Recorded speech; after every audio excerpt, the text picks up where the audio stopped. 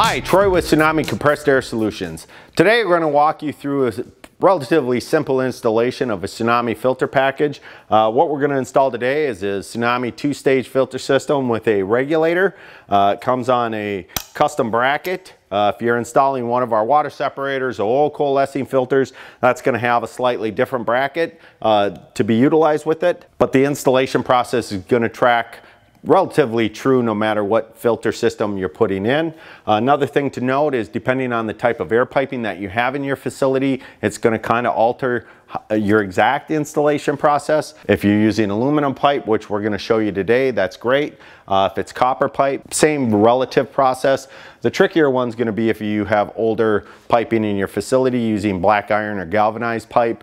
Uh, those types of uh, systems require a little more uh, care and installation and sometimes it might be better just to hire an installer to do uh, the installation if you're not real familiar with how to handle installing using black pipe. The first thing we're going to do is we're going to map out in our air system where we want to install our filter. So if we have a drip leg in our air system that's relatively close to the application point, we're going to look for a location somewhere downstream uh, to install a riser pipe for our airline. Uh, check out some of our other videos on our website and it'll talk about plumbing a, uh, an air system uh, as well as there's a really quality video called Compressed Air System Basics uh, to check out and that kind of walks you through the drip leg, the riser pipe, and the need for drains on your tanks and, and on your drip legs and such.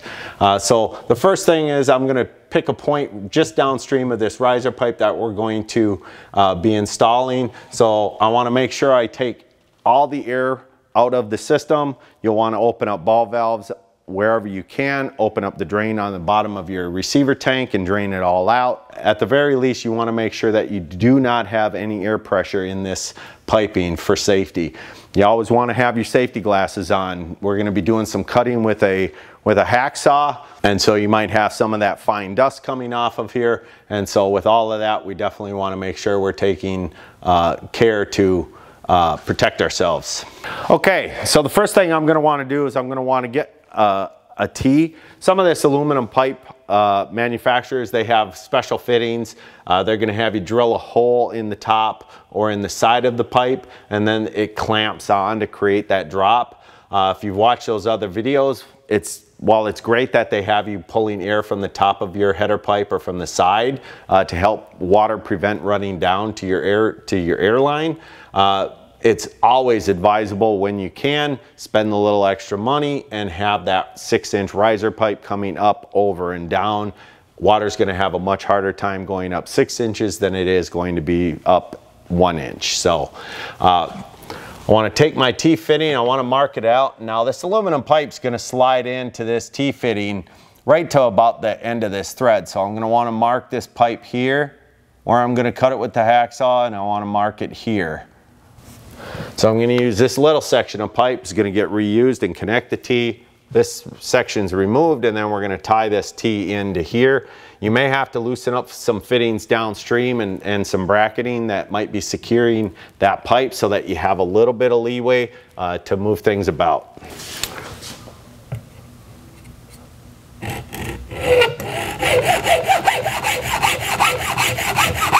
All right, so now I've cut away that section um, and I've loosened up the air piping downstream.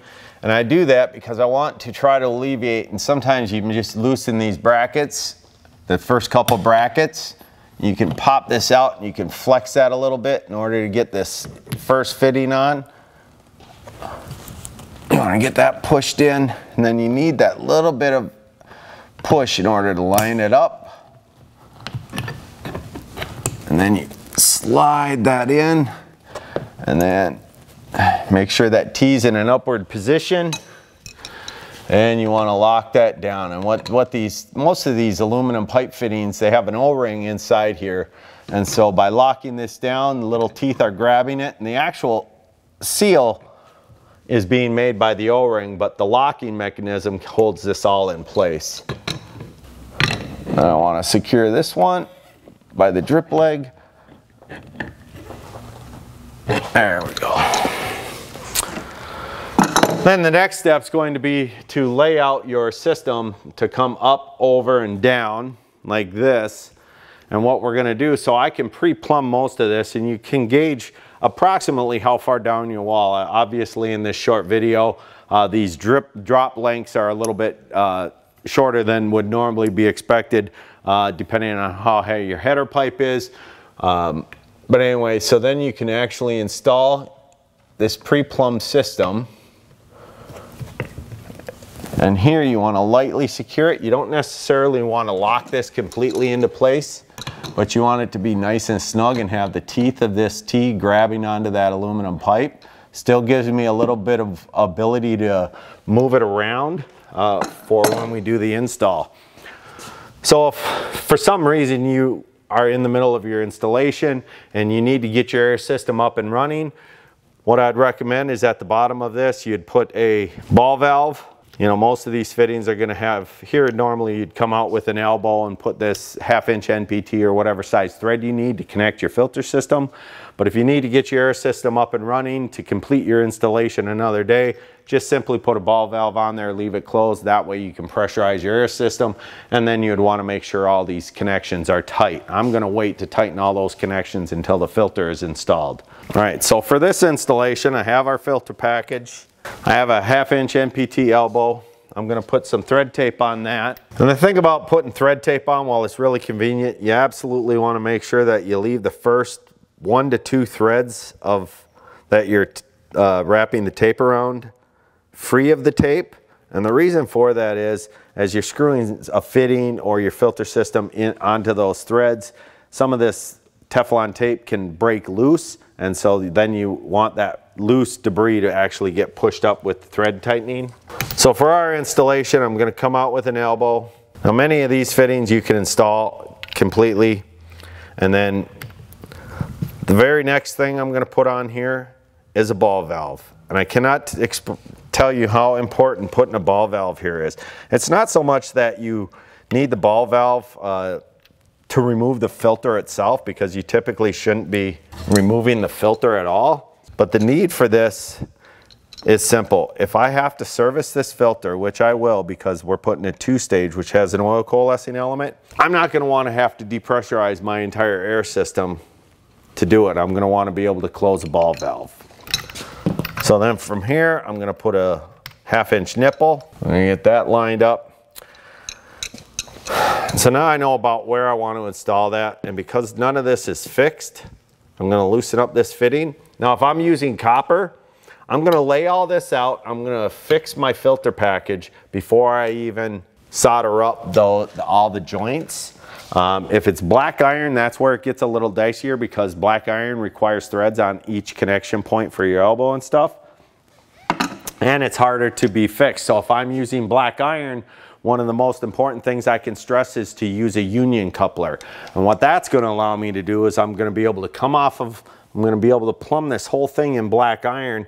And if I put a union here, what it'll do is allow me to loosen the union up half of the union is going to stay affixed to our assembly coming off the main header pipe and then we affix the other part of that union to the filter package itself and then that way it's going to make mounting everything that much easier. So I'm going to finish installing this onto the filter. I want to get it nice and snug.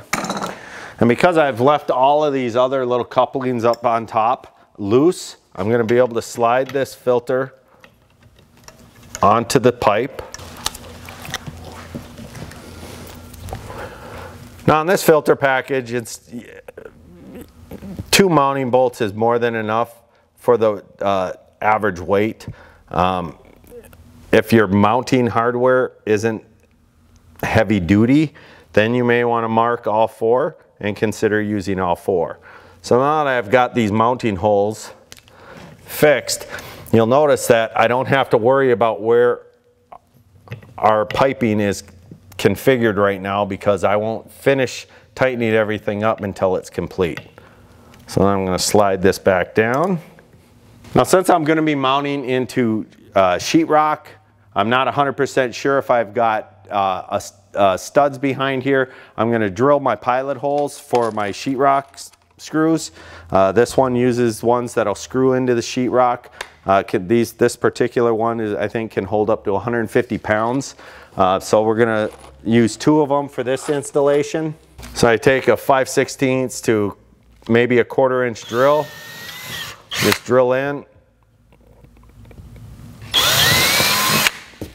The nice thing about these, using a Phillips screwdriver, uh, there are some that you just push into these holes. This particular type I like because they can screw into the sheetrock and I know I get a nice secure screw hole or bolt hole to secure my filter. Now depending on the size of the, of the screw head, you may or may not need a washer. I'm going to use a washer on these.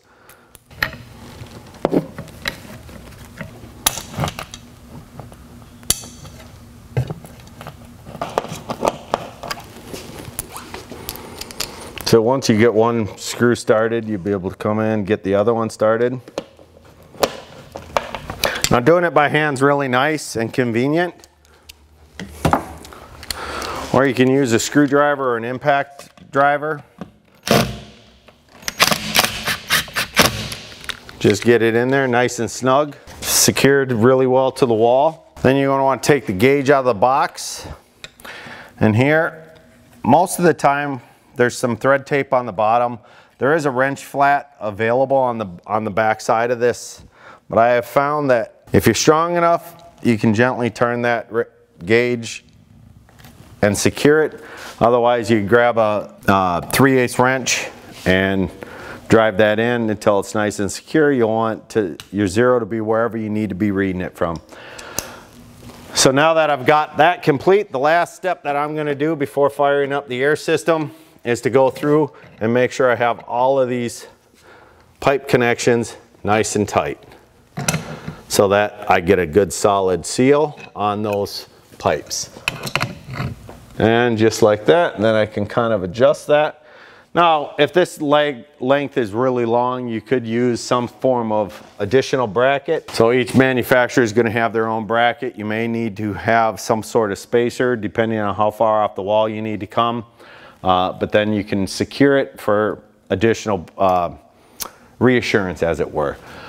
If you have any questions, check us out online at tsunami.us.com or give us a call at 800 782 5752.